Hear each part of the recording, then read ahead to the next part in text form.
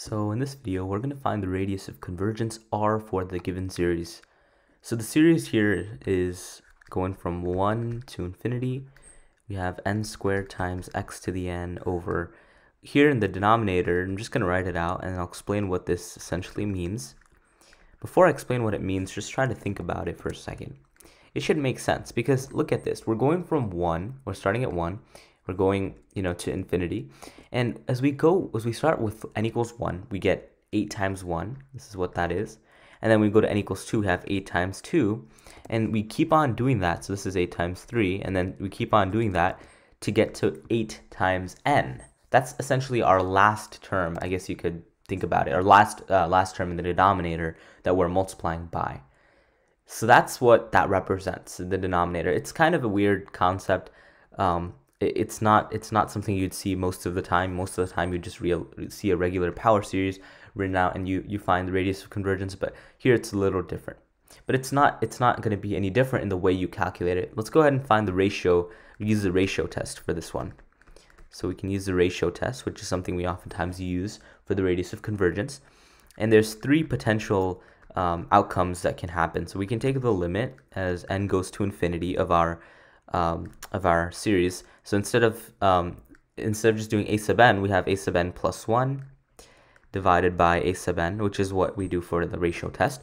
If this is less than 1, then our series our series is absolutely convergent. So series is absolutely convergent. Absolutely convergent basically means it's like more firmly convergent than just conditionally convergent, for example. Uh, that's what it means. It's just a, I guess, like a, a more firm way, a, a more firm type of convergence. That's what absolutely convergent means. So, yeah. But this test can be used for that. So if it's good, if it's less than one, it's absolutely convergent. If if the same thing ends up becoming, ends up being greater than one, then we are divergent. We are divergent. And finally, finally,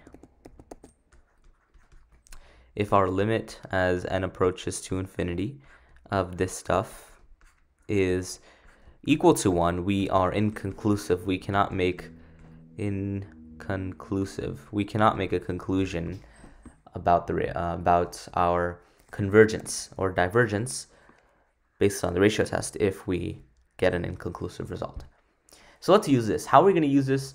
Well, basically, we're gonna we're gonna treat this just like what we do here, and we're basically gonna write this as x of n plus one is gonna be n plus one squared times x raised to the n plus one divided by, and then we have our 8, 16, 24, dot, dot, dot. We have 8n, and then we do uh, multiply by 8 times n plus 1. Make sure you put that n plus 1 in parentheses.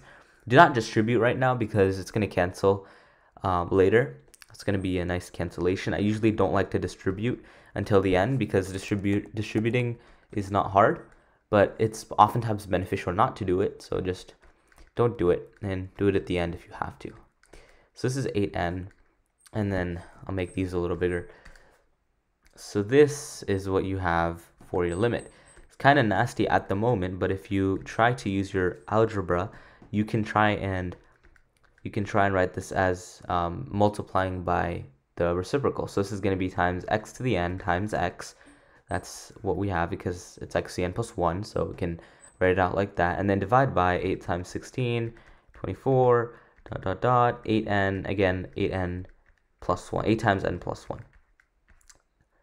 And then multi multiply this, multiply this by the reciprocal, which is here 8 times 16, 24, dot dot dot 8n divided by n squared times x to the n power.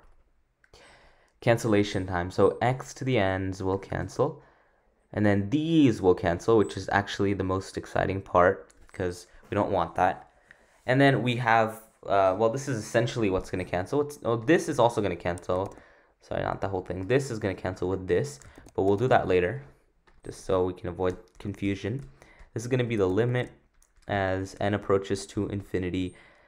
We have, I need the absolute value. The reason why is because the n's, they might be positive, but the x can be negative, and so we still need it.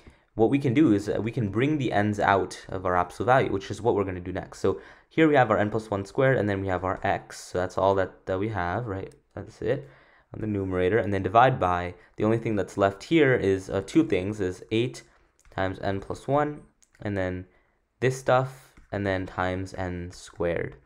So this and this is, we dealt with everything. Just make sure you dealt with all the terms. Okay, so this this gets you to what? We can take your um, n plus 1 squared here and your n plus 1 in the denominator, and we can cancel stuff. Let's do that. This is gone. This is gone. Essentially. Um, okay, so let's see here. Okay, so this is going to be the limit as n approaches infinity. We can take our n plus 1 on the top and then our n squared on the bottom. Even the 8 actually we can take out of the absolute value, so all positive. So we got all of this out of the absolute value. And then we take our absolute value of x. So that's good because the reason why we did that is because this stuff, the limit as we go to infinity, this stuff is going to approach as you can as you can imagine this stuff is going up at a faster rate, right? because it's n squared, and this stuff is going slower than this, so it's going to be approaching zero essentially. And so all of this is just approaching zero, which means that the whole thing, really, if we look at the limit, is approaching zero. What does that tell you about this? Well, since this is all approaching zero, and zero is always less than one, which is true, this means that for any value of x, we will get convergence. That's that's what we're saying. So any value of x is actually just going to give us not just convergence, but absolute convergence. We're going to get absolutely convergent um, series for any value of x that we plug in. So your interval of convergence, if you wanted to write this out, interval of convergence, convergence is from negative infinity to infinity, which indicates that, of course, your radius of convergence, which is essentially half of that, radius of convergence,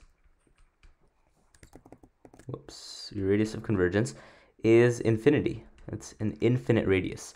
And of course, um, we could have we could determine our center by looking at the fact that this is just an x here, and if it was like x minus 2 raised to the n, then your center would be 2. So this is just x raised to the n or x minus 0 raised to the n, so 0 is your center. So your radius of convergence is infinite.